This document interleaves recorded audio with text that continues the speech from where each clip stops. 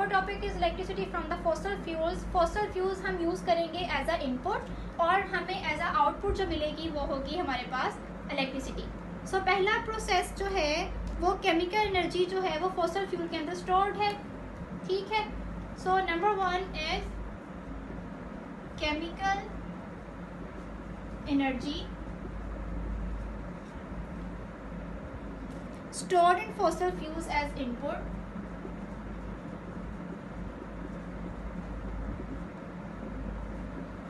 Stored in fossil fuel. अच्छा अब यहाँ पे हम प्रोसेस क्या कर रहे होंगे? अब इस फॉसल फ्यूल को हमने पहले क्या करना है? यहाँ पे जो प्रोसेस हो रहा होगा डेट इज़ बर्निंग हम यहाँ क्या कर रहे होंगे? बर्निंग प्रोसेस हो रहा होगा यहाँ पे. फॉसल फ्यूल में क्या चीज़ें आती हैं?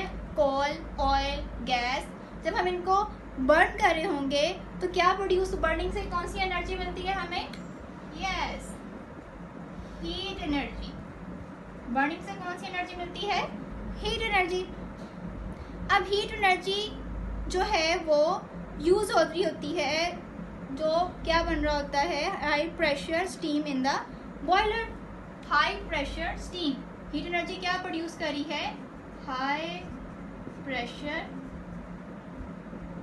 ठीक है? स्टीम प्रोड्यूस हो रही है हाई प्रेशर स्टीम बन रही है। अब स्टीम बन रही है, इसका मतलब है कि जो फोसल फ्यूल्स हैं, वो क्या आ गए हैं? मोशन में आ गए हैं। ठीक है? अब वो क्या आ गए हैं? मोशन में आ गए हैं तो इसका मतलब है कि उनकी जो पोटेंशियल एनर्जी है, वो कन्वर्ट किसमें हो गई है अब? कनेटिक एनर्जी में। पोटेंशियल एनर्जी किसमें कन्वर्ट होगी है? कनेटिक एनर्जी में। तो potential energy of steam is use to turn the turbine अब हम क्या कर रहे हैं? Potential energy is use to turn the turbine use to turn the turbine अच्छा इसके बाद क्या हो रहता है? हम ट्रांसफॉर्मिंग कर रहे होते हैं मैकेनिकल एनर्जी की। किसमें कर रहे होते हैं? Mechanical energy from turbines is use to run an electric generator यहाँ पे क्या हो रहा है? Transformation transferring transferring mechanical energy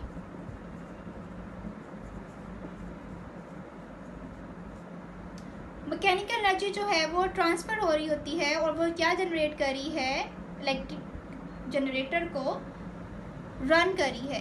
अब यहाँ पे फोर्थ पॉइंट पे क्या हो रहा है? इलेक्ट्रिक जनरेटर जो है mechanical line is use to run an electric generator use to run an electric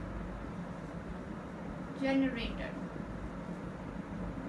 अच्छा इसके बाद क्या हो रहा था? मैकेनिकल एनर्जी फाइनली कन्वर्ट हो रही है into electricity mechanical energy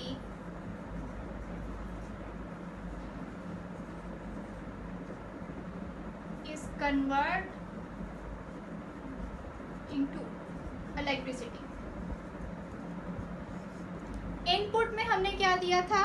fossil fuel और आउटपुट में हमें क्या मिल रहा है? नंबर फिफ्थ फॉर्म पे हमें मिल रही है जी।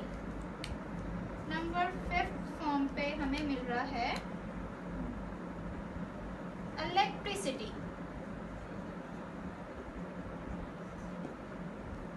electricity as a output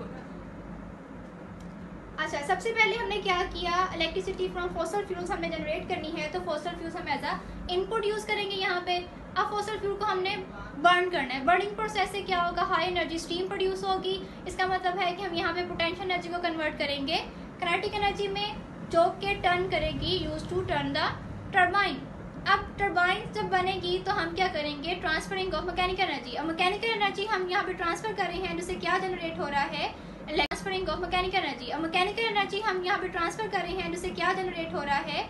electric generator को रन कर रही है। ये इलेक्ट्रिक जनरेटर जब रन करेगा तो मैकेनिकल एनर्जी कन्वर्ट हो रही होगी इलेक्ट्रिसिटी में और हमें electricity as a output produce हो जाएगी। This is the process of making electricity from the fossil fuel.